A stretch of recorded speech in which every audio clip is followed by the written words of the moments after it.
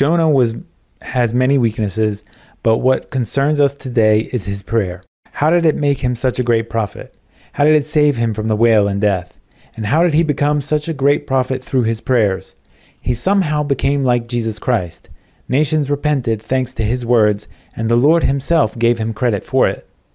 Before we go any further, remember that the most beautiful prayers in the Bible or in the life of a person appear in difficult circumstances.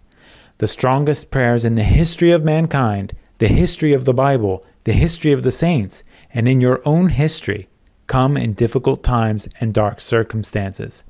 In fact, he didn't pray deeply until he got inside the whale, which is, of course, a terrifying experience.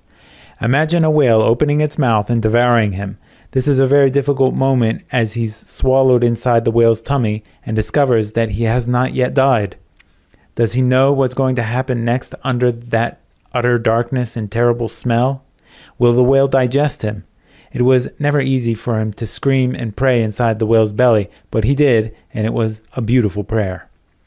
That reminds us of Daniel, who spent a whole night among lions and prayed in the lions' den. My God sent his angel and shut the, la- the lions' mouths so that they have not hurt me. Daniel 6:22. The most beautiful prayers that can be heard are from St. Paul inside a Roman prison. When we read in chapter 3 of Ephesus, we find the spirit of prayer that he is praying with is just utterly beautiful, even though he is in prison awaiting his execution. Or, for example, in the Philippian prison, when he prayed and an earthquake occurred. We also remember Jesus' Gethsemane prayer, a very touching prayer with tears and sweat like great drops of blood.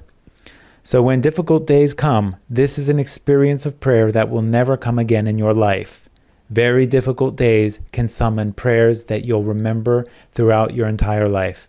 Those prayers, at those moments, can actually be your truest prayers, the ones that finally get counted in your balance. That night, that hour, that crisis is the one that by prayer truly counts in heaven.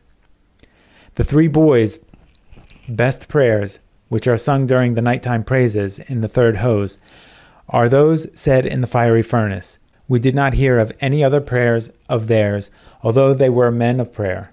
So remember, when the difficult days come, it is your chance to build up your balance in heaven by praying, and you'll spontaneously pray beautifully without even trying, because under extreme distress, you will find that the words will just be coming out on their own. We read about the rivers of Babylon in, in the psalm saying, We wept when we remembered Zion, Psalm 137 1. They were praying with tears because they are in captivity, and when they said to them in captivity, Sing us one of the songs of Zion, they wept and said, We cannot do that. How shall we sing the Lord's song in a foreign land? But their prayers were beautiful.